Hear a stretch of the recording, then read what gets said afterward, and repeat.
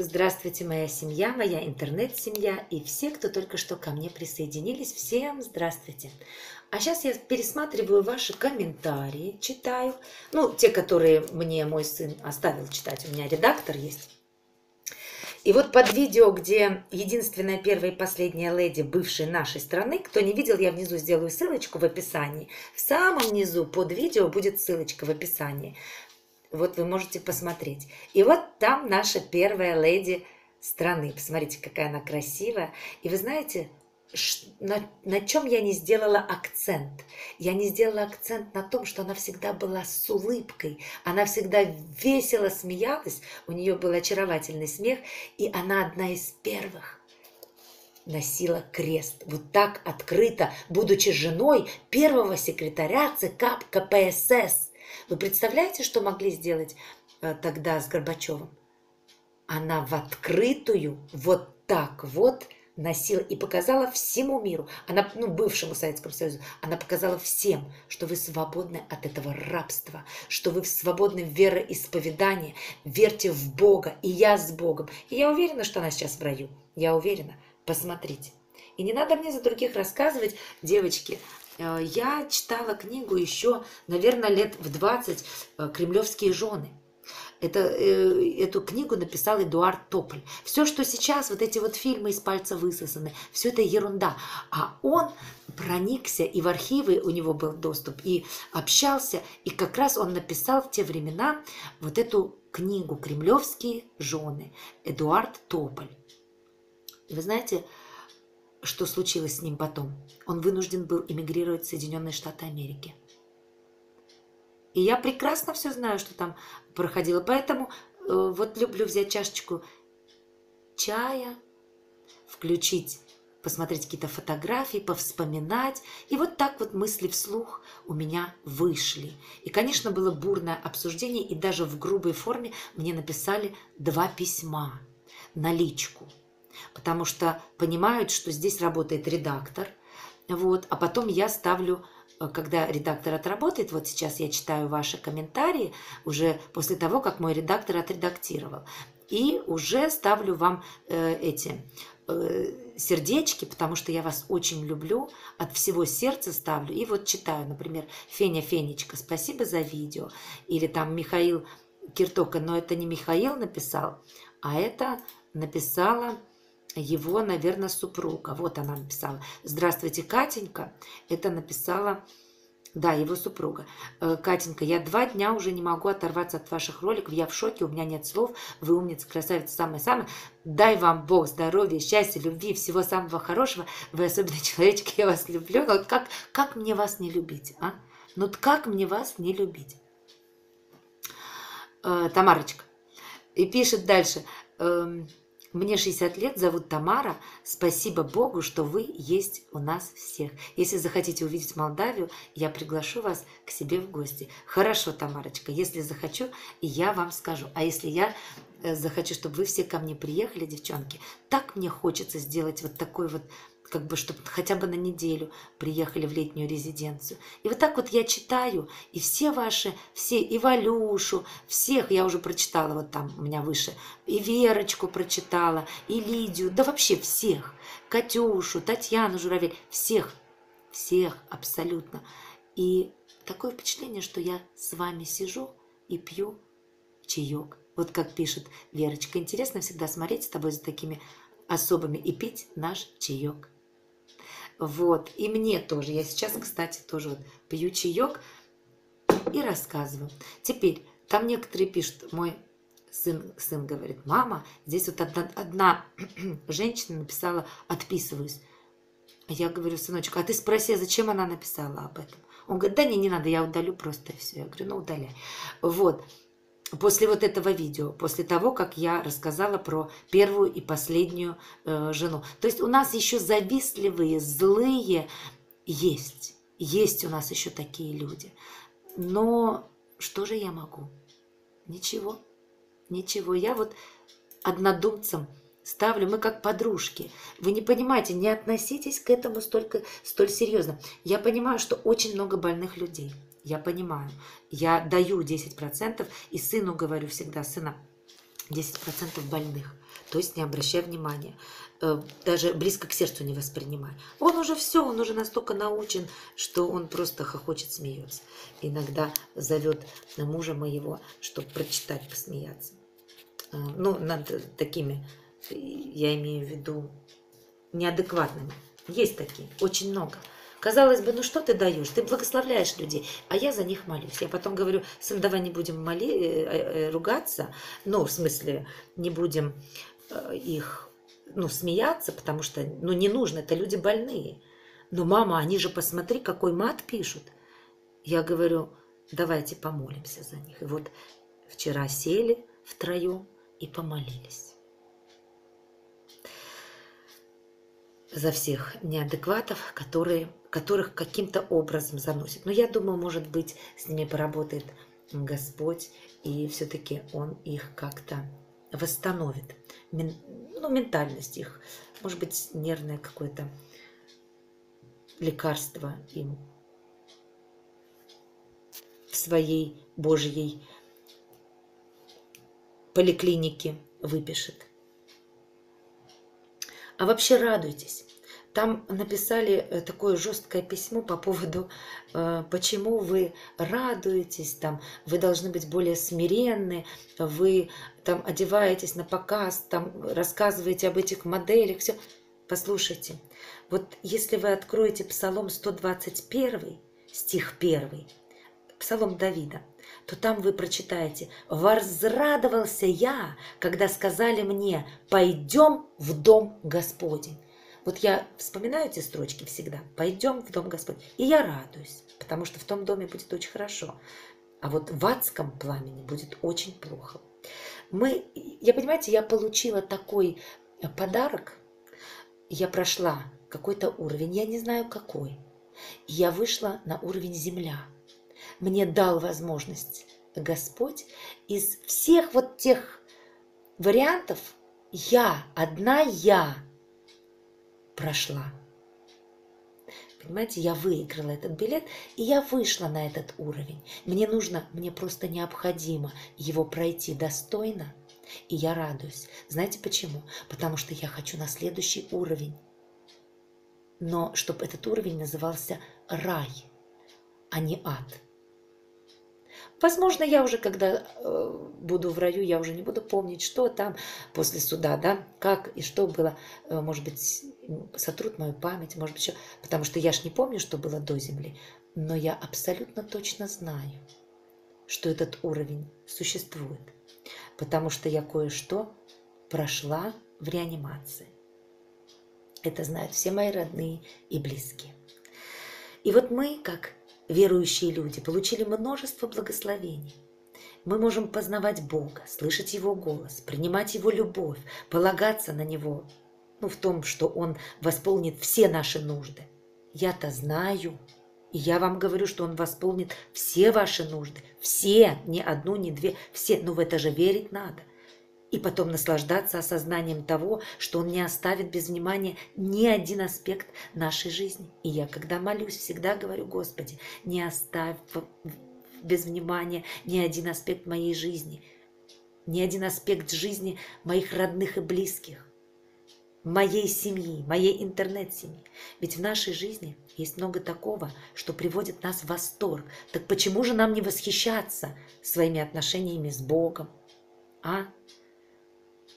Мне кажется, что моему отцу, Господу Богу, приятно, когда его дочь радуется, а не когда она ноет и просит, просит и ноет, ноет и просит.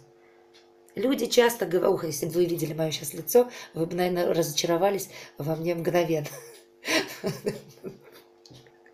Люди часто говорят, знаете, что внешнее проявление, ну, мне говорят, энтузиазма в духовной сфере это эмоциональное, а значит неправильное поведение. Вот я считаю, что эмоциями наделил нас сам Бог. И Он не хочет, чтобы эмоции руководили нами, но Он дал нам их с определенной же целью. В том числе и для того, чтобы мы могли наслаждаться общением с Ним. Если мы действительно радуемся отношениям с Богом, зачем нам скрывать свою радость в отношении с людьми, в отношении вот какую-то передачу посмотрели, я радуюсь. Я радуюсь, что тогда, в те тяжелые времена, она провозгласила Слово Божье вот таким способом, вот таким. Никто не мог так смело это сделать. Никто. А я знаю, что за этим могло последовать. И какие разговоры были после этого. Эдуард Тополь в своей книге об этом кресте написал. Ну вот кто написал мне письмо на личку про то, что вот я слишком много радуюсь? Скажите мне, пожалуйста. Просто вот ответьте на вопрос, почему наша духовная жизнь должна быть унылой, мрачной, скучной, и одеты мы должны некрасиво? Почему? А вот ответьте внизу мне на вопрос. Неужели сущность верующего человека – это угрюмые лица, печальная музыка, это скорбь, это торжественные ритуалы, это, я не знаю, какая-то скромно темная одежда? Я вам скажу – нет.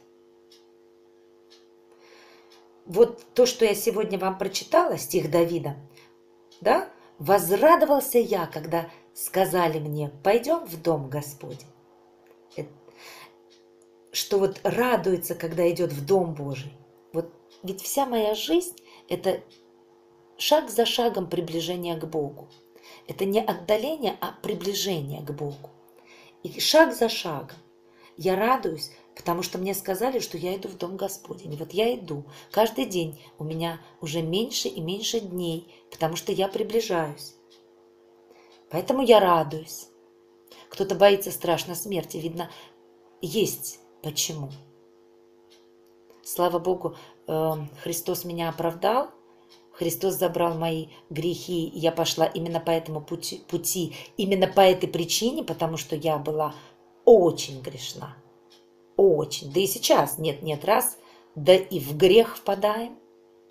А потом думаем, зачем же я это сказала? Зачем это у меня вылетело? Почему я вот так повела себя?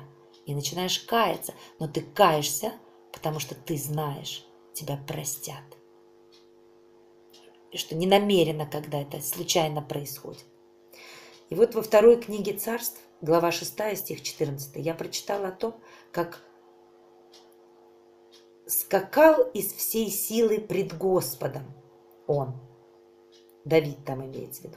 Он также играл на гуслях. Давид, Давид, Дауд. Его все знают. И мусульмане знают Дауда, и христиане знают, и, конечно же, э, израильтяне тоже знают, иудеи. Пел Господу и ликовал он. Еще раз, Давид, он играл на гуслях, он пел Господу и ликовал и еще раз. И Бог его очень любил, очень любил. Он играл на гуслях. Ну, это сейчас гусли, это сейчас это теперешняя гитара. Он пел Господу и ликовал. Вот так там написано. Давид жил во времена Ветхого Завета. Мы, а, и, и, Богу очень нравилось, что он играл на гитаре, перевожу вам, пел и ликовал. Мы с вами сегодня живем конечно, в эпоху Нового Завета. И благодаря тому, что ну вот Христос, э, я полна надежды. Вот из, благодаря Ему я полна радости и мира. Ну, так написано к римлянам, глава 15, стих 13. А почему мне не радоваться, если за меня, когда я болею, я только начинаю, только ко мне подходит какая-то болезнь, я тут же тут же провозглашаю в своем доме здоровья, говорю такие слова, что Христос понес мои грехи и болезни на кресте, как написано в Библии, делаю ссылочку на тот момент, где это написано, и все, все. И, естественно, поступаю по-мудрому настолько, насколько это возможно со своим организмом. И я на следующий день здорова. Хотя я уже знаю, что я в ту секунду исцелена. Вот так. Все силы, любые силы высвобождает Господь, любые. Нам уже не нужно изо всех сил стараться, чтобы Бог принял нас. Мы радуемся тому, что вот Иисус, Он принял нас по благодати. Нам не нужно оправдываться делами, так как мы оправданы по вере. Но, конечно же, мы оправданы по вере, но дальше вера без дел мертва, друзья мои. Поэтому моя радость, что я оправдана, но я не хочу умертвить свою веру. Поэтому, чтобы моя вера не была мертва, делаю дела параллельно. Вера без дел мертва. Без Божьих дел, друзья мои, без Божьих дел. Не своих, не эгоистичных, а Божьих дел. Вот мы можем слышать Его голос, мы можем наслаждаться Его присутствием благодаря Библии, Слову Божьему. И мы освобождены от любого вида рабства. Поэтому э, там написала мне женщина, вы не можете жить, и вот э, о правительстве ничего не говорите. Я не хочу, я освобождена от любого вида рабства. Я освобождена. И политика меня ни как не волнует. Вообще. И мне много, уже не одно десятилетие, жить приятно так. Я не засоряю свою голову мусором. Я выбираю, вот смотрю себе вот такие фотографии, например, мыслю вслух, включаю эм, видео и наговариваю, разговариваю с вами, а потом смотрю, что вы мне написали по этому поводу. Э, и вы меня тут же окрыляете, вдохновляете и даете глоток свежего воздуха, даете глоток кислорода, даете запах озона, знаете, как после дождя, вот этот вот запах. Вот, это, вот то, что я чувствую, когда читаю ваши комментарии. Так что мы освобождены от любого вида рабства. А я считаю, что когда вы смотрите постоянно телевизор и э, вот эти все политические, там, я не знаю, шоу, программы, новости и так далее, вы уже в рабстве. Вы не можете не включить.